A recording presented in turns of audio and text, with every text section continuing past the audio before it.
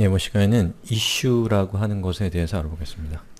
자, 이슈라고 하는 것은 여러분이 어떤 프로젝트에 참여했을 때 그 프로젝트에서 발생하는 여러 가지 이 사안들 어, 대표적인 것은 처리해야 될 일들 또는 뭐 누군가가 열람해야 될 어떤 정보들 이러한 것들을 이슈라고 합니다. 그래서 어, 쉽게 얘기해서 업무를 관리할 때 사용하는 도구가 이슈라고 하는 것이고요. 이슈는 기본적으로 이 dashboard에서 현재 여기 있는 요 로고를 클릭한 상태 이게 이제 dashboard라고 하는 것이고 dashboard는 이 프로젝트 여러가지 참여하고 있는 프로젝트의 전체적인 시야를 제공하는 이것이라고 말씀드렸죠. 거기에 이슈라고 되어 있는 거 있죠. 요것이 바로 이슈에 해당되는 부분이고요. 근데 여기 있는 이 이슈는 여러분이 참여하고 있는 모든 프로젝트를 포괄적으로 프로젝트의 모든 포괄적인 이슈들을 보여주는 이 것이고요. 그리고 어떤 구체적인 프로젝트의 이슈를 발급하고 그 프로젝트에 해당되는 이슈를 보기 위해서는 우선 프로젝트의 화면으로 이동을 해야 됩니다. 자, 이 프로젝트라고 되어 있는 것을 클릭하고 여기에 있는 요 이슈들을 이렇게 클릭해서 들어가 보겠습니다. 자, 지금 보고 계신 이 화면은 이 opentutorials 생활 코딩 홈페이지에 여러가지 이슈들을 보고 계십니다. 자, 여기 요 프로젝트 안으로 들어와서 그 안에 있는 이슈를 클릭해 보면 자, 보시는 것처럼 현재 이슈들의 리스트가 나타나고 있습니다. 자, 우선 이슈를 보는 방법을 먼저 설명을 드리면 자, 여기 이 왼쪽에 왼쪽에 좌측 sidebar에 보시면 open과 closed가 있습니다. 그래서 이슈는 이 하나의 업무는 여기 있는 거 요거 하나하나가 이슈인데요. 하나의 이슈는 크게 두 개의 상태가 있습니다. 첫 번째는 open된 상태, 두 번째는 closed 된 상태. 그래서 open된 상태는 그 이슈가 현재 진행 중이거나 아니면 그 이슈를 해결할 사람을 기다리, 고 있는 일감이라는 뜻입니다. 아직 처리가 되어 있지 않거나 처리 중인 일감이 open이고요. 그 다음에 클로즈라, 클로즈드라고 하는 것은 그 업무가 처리돼서 어, 완료되었다 라고 하는 겁니다. 그래서 이 두 가지의 상태만을 상태를 가지고 있고요. 자, 이 중간에 있는 assigned to me라는 것과 created to me라고 하는 것은 자, assigned라고 하는 것은 assign, 할당되다. 자기 자신에게 할당된 이슈라는 뜻이죠. 즉, 그 이슈가 자기 자신이 처리해야 될 이슈라는 것을 자기나 또는 타인이 지정한 이슈들만을 이렇게 보여주는 겁니다. 예, 현재 저는 없다라고 나오죠. 자, created by me라고 하는 것은 자기 자신이 생성한 이슈를 created by me라고 하는 이슈를 이렇게 카테고라이징해서 보여주게 되는 건데 지금 보고 계신 이 계정은 예, 제가 수업을 위해서 만든 계정이기 때문에 현재 어사인된 이슈도 없고 created 된 이슈도 없긴 하지만 아무튼 이것이 어떤 이슈, 어떤 의미인지는 어, 이해하실 수가 있을 거라고 생각이 됩니다. 자 그러면 제가 이 테스트 오픈 테스트 프로젝트라고 하는 우리가 전 시간에 생성했던 이 프로젝트에다가 이슈를 한번 생성하는 법을 살펴보도록 하겠습니다. 우선 저는 opentutorials라고 하는 어, opentutorials ORG라는 이슈가 있기 때문에 이슈 프로젝트를 아, 프로젝트에 있기 때문에 프로젝트를 바꿔야겠죠.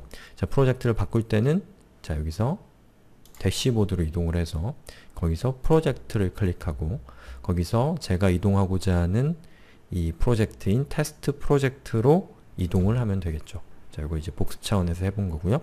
자, 그럼 제가 이슈를 한번 만들어 보겠습니다. 자, 여기 보시면 new issue라고 되어 있는 거 보이시죠? 이 new issue를 클릭하면 여러분이 새로운 일감, 새로운 업무를 발행할 수 있게 됩니다. 자, 이걸 클릭하겠습니다. 자, 그러면 subject라는 것은 그 이슈의 제목이죠. 그래서 업무의 이름을 여기다가 적어주시면 됩니다. 자, 저 같은 경우는 뭐를 해볼까요?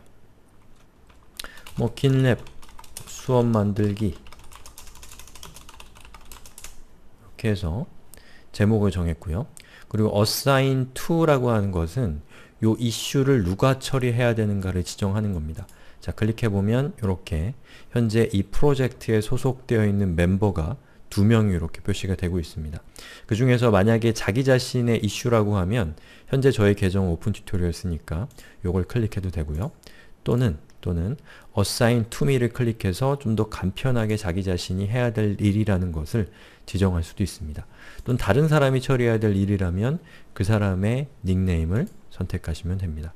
자, milestone은 제가 조금 이따가 또 설명을 드리고요. 그 다음에 레이블, 레이블이, 라, 레이블이라고 하는 것은 뭐 태그라고 할 수 있습니다. 블로그가 익숙하신 분들은 태그라고 하면 쉽게 이해하실 수 있겠는데 이건 조금 카테고리와는 조금 구별되는 개념인데 그 현재 이 일감이 어떤 형태의 일감인가 라고 하는 건데요. 일반적으로 이 프로그래밍 프로젝트에서 크게 이 두 개의 상태가 일반적으로 많이 사용이 되는데 하나는 뭐 개선사항이 있고요. 또 하나는 결함, 영어로는 버그, 개선사항은 enhancement가 있죠. in, hn 뭐 결함을 버그로 써도 상관없고 개선사항을 enhancement로 해도 상관없습니다. 그거는 취향에 따라 하는데 자 예를 들면 이 이슈가 어, 결함이다. 뭔가 버그가 있다. 그럼 결함이라고 쓰는 거죠. 그리고 디테일에다가는 아 이건 기수업 만드는 거니까 개선사항으로 합시다. 개선사항이라고 하고 그리고 디테일에는 어, 수업을 만들어야 합니다. 라고 간단하게 내용을 적는 거죠. 물론 이것보다 더 디테일하고 어, 친절하게 내용, 내용을 작성을 해야겠죠. 근데 우린 수업이니까요. 자, submit new issue를 클릭하면 자, 새로운 이슈가 이렇게 발행이 된 것이고요. 그 이슈는 4654번이라고 하는 번호를 갖고 있습니다. 자, to issue list를 클릭하면 현재 어, 이 프로젝트, 즉 테스트 프로젝트라고 하는 이 프로젝트에서 생성된 이슈가 이렇게 화면에 표시가 되고 있고요. 그 이슈의 제목, 그 이슈의 번호, 그리고 그 이슈를 누가 처리해야 되고 그 이슈가 개선사항이라는 태그를 갖고 있다 라는 것을 레이블을 가지고 있다라는 것을 이렇게 화면에 표시하고 있는 겁니다. 자 이렇게 되면 이 이슈는 현재 이고잉이라고 하는 이 닉네임을 가진 사람에게 발급된 상태고요. 이고잉이라는 사람은 자신의 화면에서 자기에게 할당되어 있는 이슈를 예, 열람해서 보겠죠. 그러면 그 이슈를 처리하게 되겠, 되겠죠. 예. 그리고 이슈를 발급을 하면 이 긴랩이 기본적으로 자동으로 그 업무를 처리해야 되는 사람에게 이메일을 발송을 하기 때문에 그 사람이 긴랩에 접근하지 않아도 이 이슈를 더 발급, 그 발견하게 될 확률이 높아지게 되는 것이죠. 자 그렇게 해서 이 이슈가 이 처리가 되었다라고 하면 현재 이슈는 자 여기 이 오픈에서 이슈가 보이는 것은 이 이슈가 오픈된 상태라는 뜻인데 이 이슈를 close 상태로 해서 업무가 처리되었다라는 것을 이 화면에 표시해 줄 수가 있겠죠.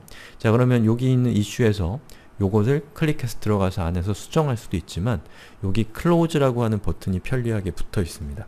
이 버튼을 클릭하면 자 보시는 것처럼 오픈된 상태에서 리스트가 사라졌습니다. 그럼 제가 여기서 closed를 클릭하면 보시는 것처럼 이 처리된 업무 목록에 이 이슈가 들어가게 된 것을 볼 수가 있죠. 그리고 만약에 이 이슈가 뭐 아직 처리가 미비하다 그러면 리오픈을 클릭해서 이슈를 예, 다시 살릴 수도 있고요. 그럼 다시 오픈으로 가겠죠. 그리고 이슈의 내용을 만약에 편집하고 싶다. 그럼 여기 있는 edit 버튼을 클릭해서 이슈 안으로 들어가서 그 이슈의 내용을 편집하시면 되겠습니다. 자 이렇게 해서 제가 이슈가 무엇인가 또 이슈를 만들고 또 이슈를 수정하고 또 이슈를 닫는 방법에 대해서 설명을 드렸고요. 이 다음 동영상에서는 이 이슈에서 여러분들이 어, 어떤 내용을, 글의 내용을 작성을 할 때 포매팅을 하는 방법, 좀 더 보기 좋게 만드는 방법에 대해서 이 다음 동영상에서 설명드리도록 하겠습니다.